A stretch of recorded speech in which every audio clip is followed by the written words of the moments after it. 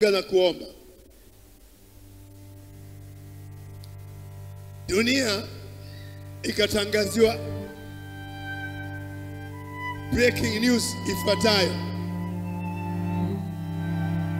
tarehe 26 Septemba, tukiwa siku ya pili. Lazima urelate, lazima uunganishe matukio na unayoyafanya. Tarehe 26 siku, ya pili, Jumanne tumeanza, Jumatatu, Jumanne tumemaliza Jumatano na Alhamisi, Alhamisi tumeitwa na katibu wa CCM na mwenyekiti ametuma na rais waongee na wakazi wa bonde la mto Msimbazi kwamba rais amesikia kwamba watu wamezulumiwa katika, katika fidia. Amemtuma katibu awaambie wakazi kwamba hakuna atakayezulumiwa. jambo tulilo naliombea. Shangwe wa makofi. Rais amesikia kwamba atahakikisha kwamba watu wanalipa fidia stahiki, na kesho CCM inakaa na TAMISEMI. Wewe utaambiaje? Wanaambia eti ardhi haina thamani, haina thamani. Sisi hapa tulikuwa tunalipa milioni tatu mia moja na hamsini kodi ya mwaka, utatuambiaje haina thamani? Kodi ya mwaka hapa, kwa sababu kiwanja tulinunua kwenye ofa, tulikuwa nalipa milioni tatu mia moja na hamsini kwa mwaka.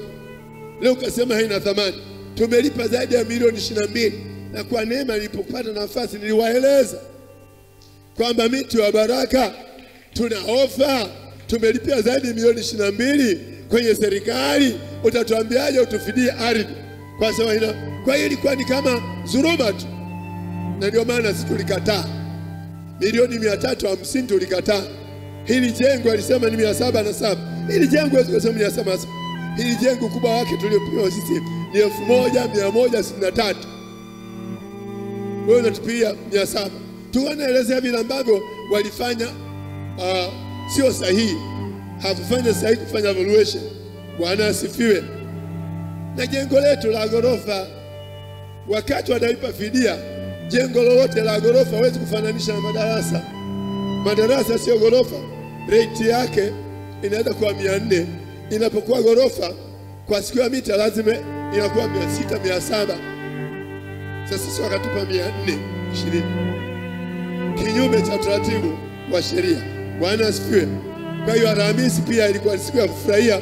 Tumemaliza mambo Jumatano, Alhamisi tunapata habari njema kwamba tutalipa fidia vile ambavyo mnataka, shangilia kwa makofi.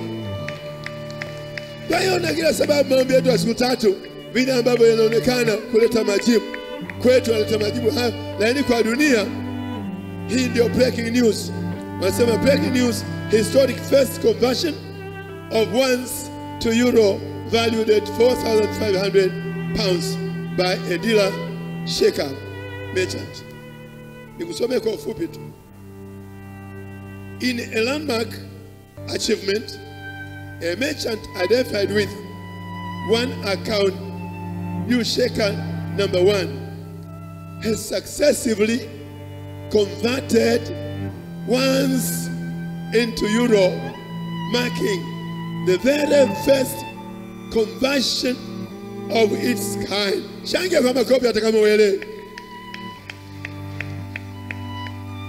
Siku ya pili dunia inatambua kwa mara ya kwanza, dunia inaona wanabadilisha hizo one coin kuwa euro, kwa mara ya kwanza katika siku yetu ya pili. Haleluya! Unajua uchumi kienda namna hiyo hatusiokuwa na hela. Ndio maana huyu mkurugenzi sema tuletee bilioni moja, wale waliopata wataleta hela nyingi hapa. Shangia kwa makofi, walionazo hizo yule zitaleta hapa.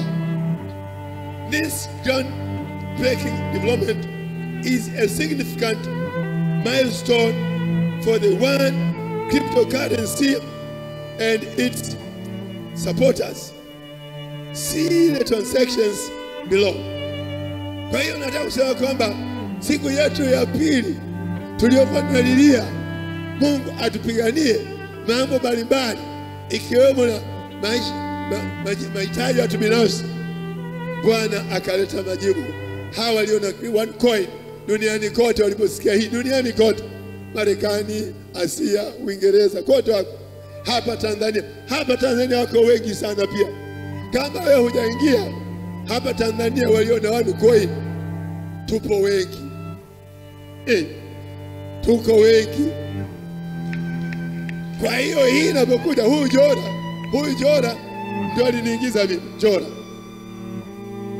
Kwa hiyo tunamshukuru Mungu kwamba siku ya pili ya maombi yetu Mungu ameleta majibu, sio kwetu tu, kwa dunia nzima. Kwa hiyo kila saa kumshukuru Mungu kwa sababu mengi ambayo Mungu ameyatenda, lakini pia hata siku ya leo kwamba wenzetu kule Nairobi Jumapili iliyopita kule Kenya hakuwa na ibada nzuri, kulikuwa na mvua, na anasema hata leo walikuwa hana uhakika watakuwa na ibada. Sisi tumekuwa na ibada. Shangilia kwa makofi, shangilia, shangilia, shangilia, shangilia kwa makofi. Mungu anayotupenda. Haya sio mambo mepesi.